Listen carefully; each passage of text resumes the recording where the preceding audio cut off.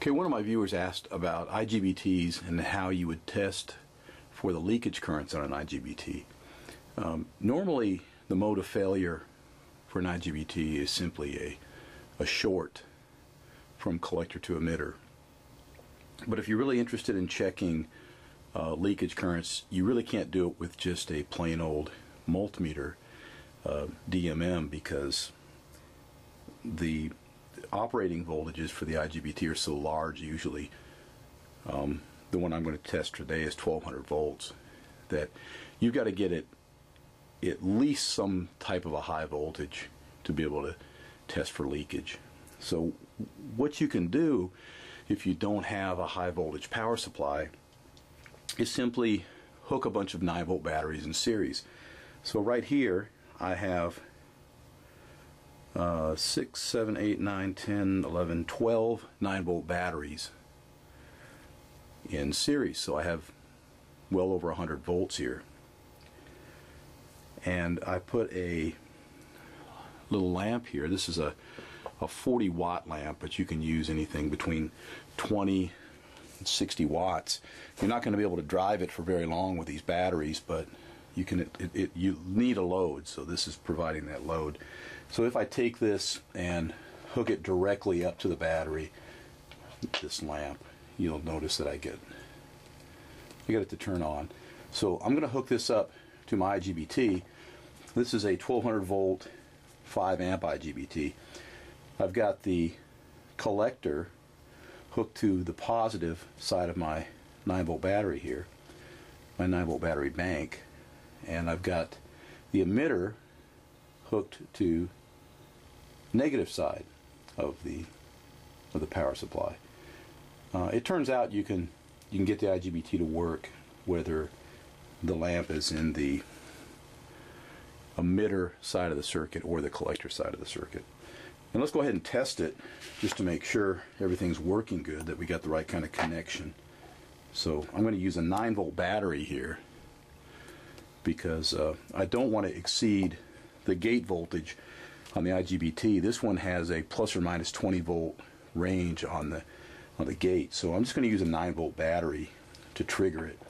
And the way I'm going to do that is just hook the emitter of the IGBT to the negative side of this battery and I'm going to use the positive terminal of the 9 volt battery to trigger the IGBT gate.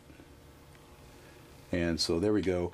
And notice it stays on, and that's because it's accumulated some charge on the gate and it's holding that charge. So I really have to leak that charge off in order to get it to turn off again. So one way to do that is I'll just use one of these battery clips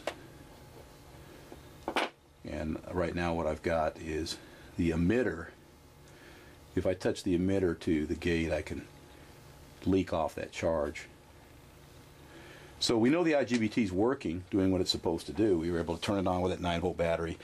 more importantly, it stayed on because it accumulated this charge.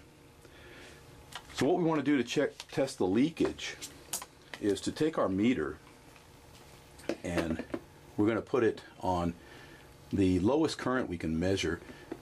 It's going to be better to start off with a higher current, but we'll eventually work our way down to the lowest current.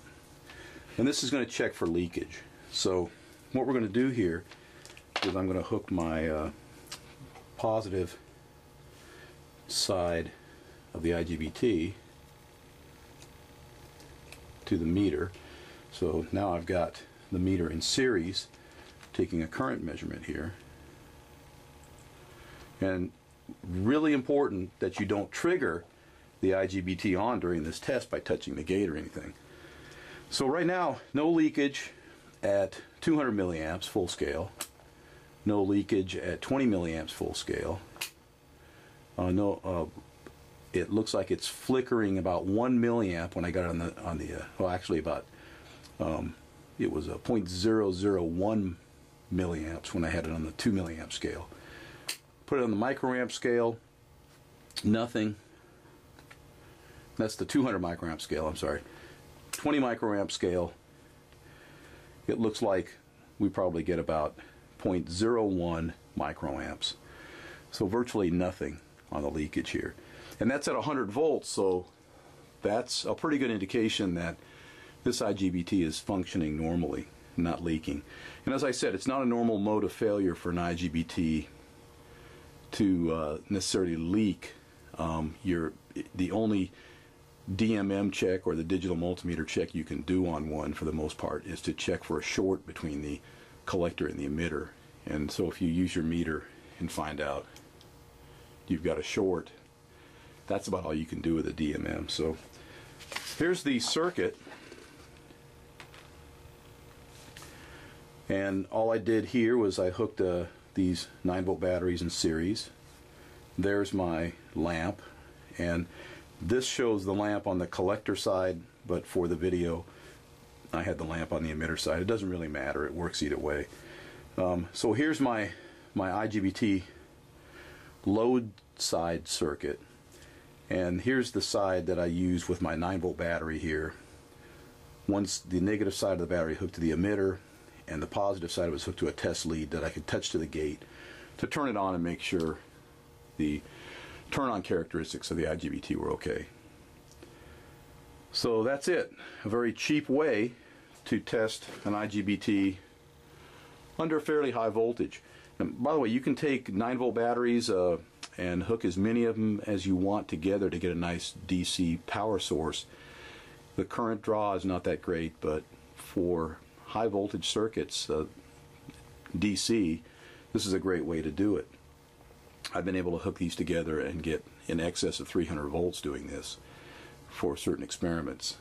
So good luck testing IGBTs. See you later.